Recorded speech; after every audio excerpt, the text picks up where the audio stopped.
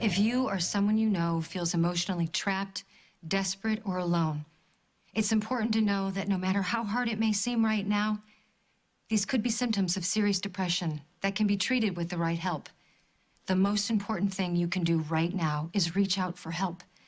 Please call the National Suicide Prevention Lifeline at 1 800 273 TALK.